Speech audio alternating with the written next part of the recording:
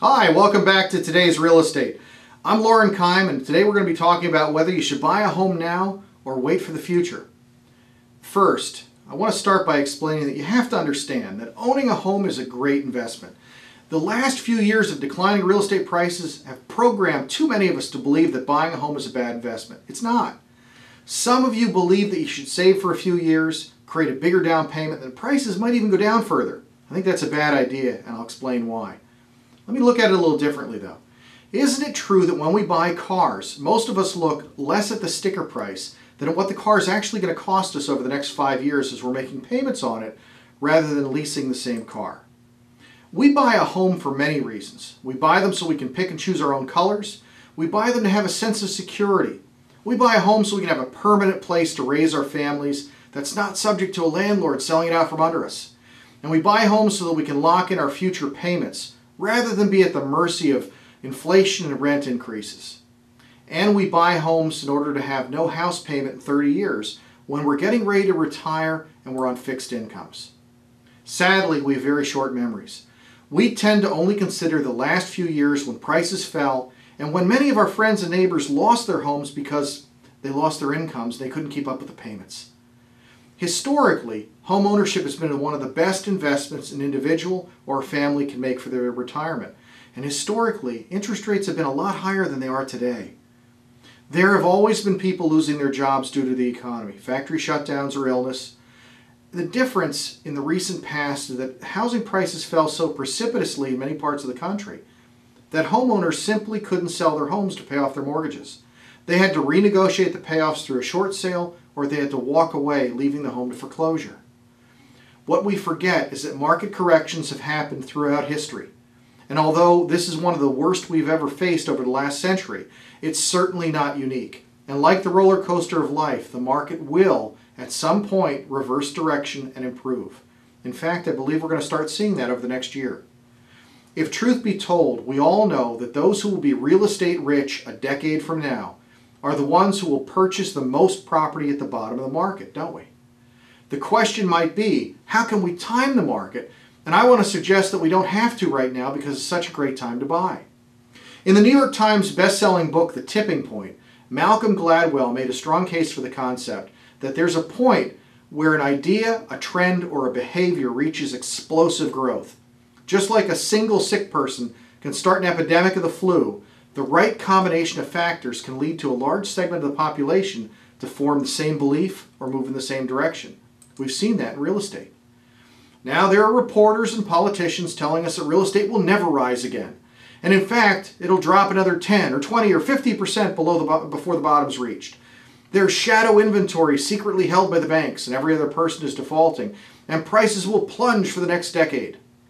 These purveyors of doom are, are ignoring some fundamental truths. The population is continuing to expand rapidly.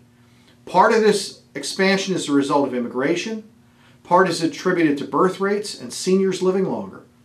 A growing population means an increased demand for housing for that population, which ultimately leads to prices rising. Supply and demand are a fundamental part of economics. Additionally, the Federal Reserve printing a lot of paper money means we dilute and devalue the dollar, which leads to inflation. Although inflation creates high interest rates, which is bad for the housing market, it also means that everything you buy costs more and housing inevitably follows the same pattern. So while we hear there'll never be another real estate boom, we know this isn't true. There will be another tipping point in the market because history repeats itself and our memories are painfully short.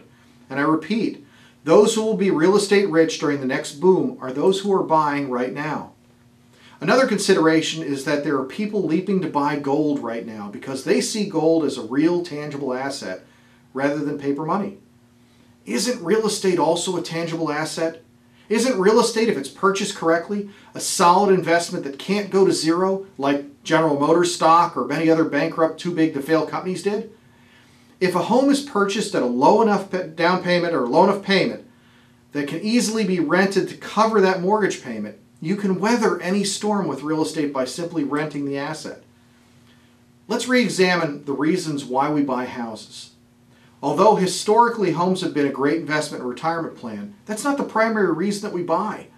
We buy to both lock in our housing cost and to secure something that's truly ours. A mentor of mine, Ralph Williams, once told me that real estate is the tip of the iceberg of free society. If you can't own land and are required to lease it from some government or third party as a serf would, you can't truly be free. We buy homes even when the monthly payment or the monthly cost of home ownership is higher than the current rental rates because we know the cost of renting a property will continue to rise with inflation.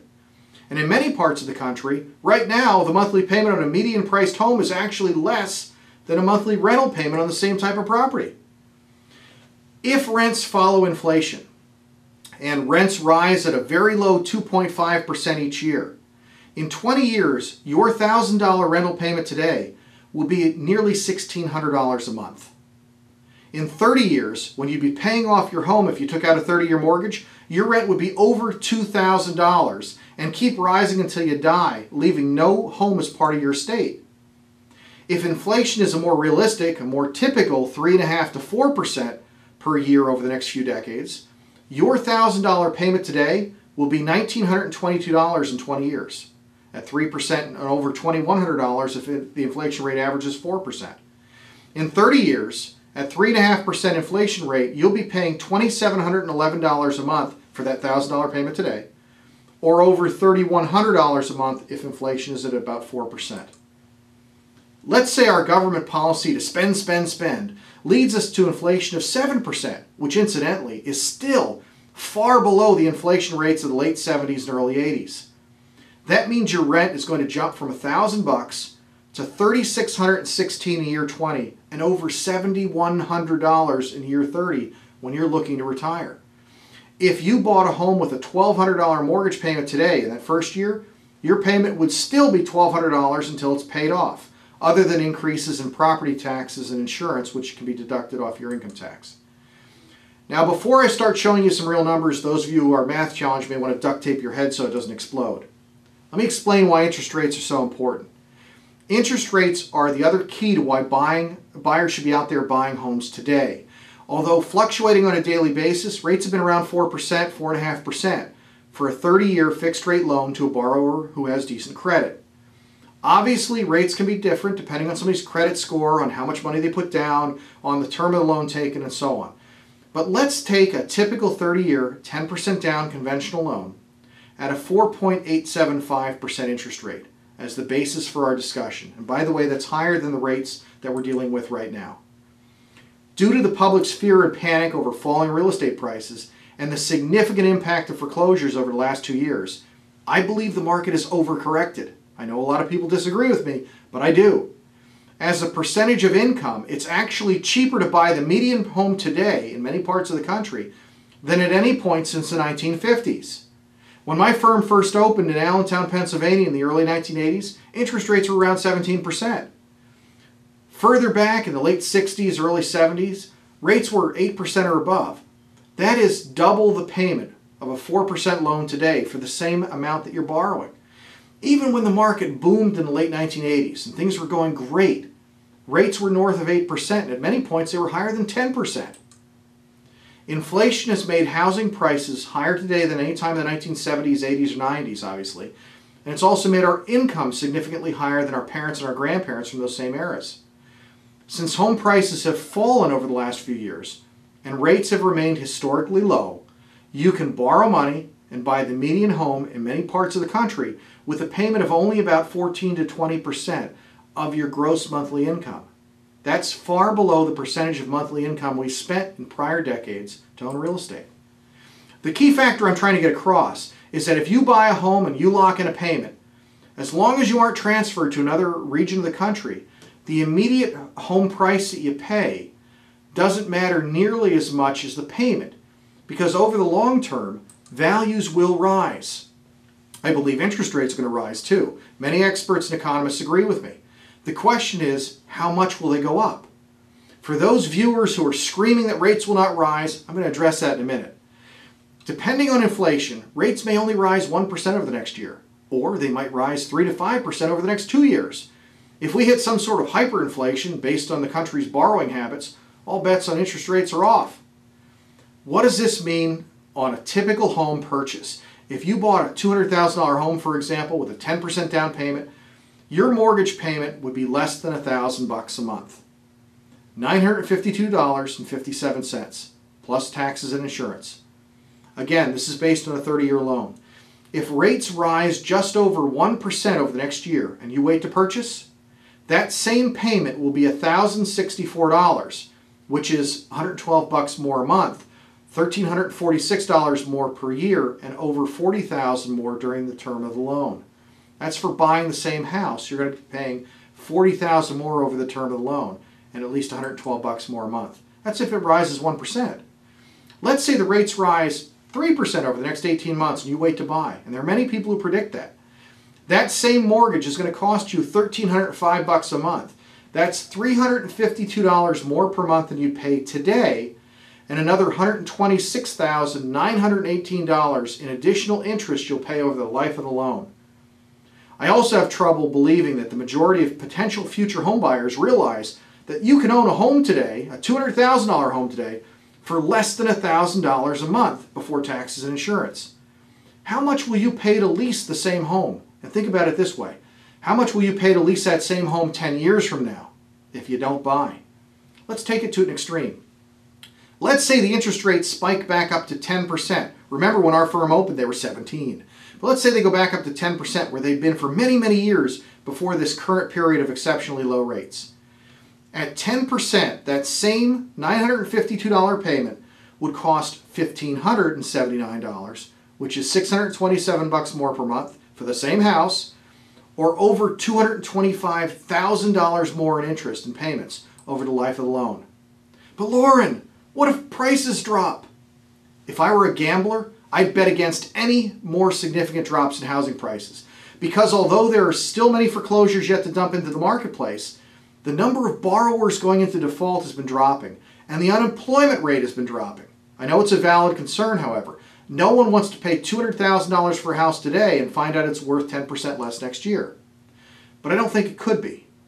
Let's use an example. Let's select a Midwestern suburban area where housing prices have dropped 21% over the past five and a half years. This is a typical scenario across the country. I know there are areas that have been hit much harder, like Las Vegas and Orlando, but we're looking at normal markets. If the average price drop was about 4% a year, and some segments of the economy are improving, it's reasonable to assume a drop shouldn't exceed more than 4%, right? A buyer of a $200,000 home could lose $8,000 in equity if prices erode another 4% over the next year and they bought today. Yet if the buyer stays in the home as the market recovers, he'll recoup that equity. But what what if he could buy today at 4.875% interest rate and waiting a year cost him a 1% bump in that interest rate? That $200,000 purchase today would cost him 952 bucks a month, based again on a 30-year loan, 10% down payment, normal credit. Buying the same home next year for 192,000, but at a rate 1% higher, will actually cost him 70 bucks more a month, $1,022 a month, even though he's paying less for the house. Now let's say rates spike up to 7.875%, if they go up 3%. That same home, now at 192,000, will cost 1252 bucks a month. So you're losing more than $300 a month by waiting. Now, what if your gamble of waiting doesn't pay off and both prices and interest rates rise? Something to think about. Let me address the question you've been asking. Why will interest rates rise? As I warn potential of the potential of rising interest rates at workshops around the country, I inevitably get someone in the audience who argues, Loren, they say, interest rates will not rise because the government cannot allow it. Well, here's a news flash. The government does not control home mortgage interest rates. The government can influence them for a period of time, but they do not set the rate. What they set is not the home mortgage rate, and people misconstrue that often. There are two parties to every mortgage. There's a borrower who's buying the house, and there's the organization who loans the money to the borrower, the bank or the lender. For a bank or a lender to loan money to another, they have to receive some sort of benefit for loaning that money. And that's the interest paid by the borrower. Although that may sound simplistic, the way the real world works is that large organizations like Fannie Mae buy up billions of dollars in mortgages from Wells Fargo and Chase and everywhere else They package them as mortgage backed securities and resell them on the secondary market. If banks and Fannie Mae can't get loans sold, the supply of money goes down, meaning there's less money to lend people, which drives the interest rate up. I'm oversimplifying, of course, but that's the basic way mortgages work. Mortgage rates change based on the interest rates paid by federal treasuries and on inflation. Let me explain. Treasuries are considered to be the safest investments in the world because they are backed by the full faith and credit of the United States government, meaning the risk of default is very, very low. That's the safest investment somebody could put money in. Unlike U.S. Treasury bills and Treasury bonds, mortgages are not risk free. Some people go into foreclosure and default. That means we have to entice investors to purchase mortgages by offering a higher rate than treasuries, based on a risk factor. Treasury rates have to be higher than inflation or the investor will lose money. For example, if an investor purchases a treasury bond that pays 3% interest, but inflation is 4%, the investment is not keeping up with inflation, and the bond will be worth less at the end of the term than it was at the beginning. Mortgage rates have to be higher than treasury rates which have to be higher than inflation, or the loans cannot be sold, and borrowers will have a difficult time obtaining financing for their home. The two primary reasons that mortgage rates have been held so low for this extended period is that inflation has been virtually non existent, and the Fed has been purchasing bonds in order to influence the rates, keeping them artificially low. As this eases, and it will, rates will necessarily rise. Final thought qualifying now versus later. As the rates rise, consumers' buying power diminishes. For example, if you're a typical family earning around $50,000 a year, you can afford about $1,166 a month if we use a qualifying ratio of 28% of your gross monthly income. If we estimate that the taxes and insurance are going to cost you about $300 a month, which certainly depends on the state and the location of the property, your principal and interest payment, your actual mortgage payment, can't exceed $866 per month. While $866 a month gives a family like yours the buying power to borrow $163,700 today at 4.875%, it means you can only borrow a little over 146,000 if rates go up by 1%. If rates jump 3% over the next 18 months, your ability to borrow is now less than 120,000 while you qualify for $163,700 today. So what's keeping people from buying? They should be running out and buying houses now, right? Certainly there are fewer consumers in the marketplace that qualify to purchase a home than a few years ago. Credit scores have dropped for those who let their homes go into foreclosure or gave them back to lenders as a deed in lieu or sold their homes as a short sale to get out. Restrictions on lending have tightened as well. Not as much as people think, but they have tightened. PMI companies are scrutinizing transactions, and lenders are requiring higher credit scores and, in some cases, more money down. Effectively, that means there are fewer potential buyers than perhaps there were in 2006. But the hidden truth is that the vast majority of Americans can still buy a home. The key to unlocking the floodgates of buyers is when first time buyers make that initial leap into home ownership. In a normal market, first time buyers generate three or more transactions. They purchase a home, which leads the owner of that home to move up to a moderate priced home. That owner in turn makes a lateral move to another area or they move into a luxury home, and the luxury homeowner moves into a smaller home or a retirement home. It's a lot of transactions created by one first time home buyer. In addition to the challenge that we've had over the last few years with home buyers not wanting to take that plunge into home ownership, Many of those first time home buyers were actually able to find homes that were foreclosures or short sales, which are both homes that the prior owner is really unlikely to go out and buy another home. So the chain of the transactions ends with the first sale. Right now, many of these potential first time buyers are sitting on the sideline. Consumers overwhelmingly want to own their own home rather than throw money away every month to a landlord. And yet they're not making a move to home ownership. While some are waiting for another tax credit, which will probably never come, uh, still others are waiting for uh, a drop in interest rates, which is even more or less likely.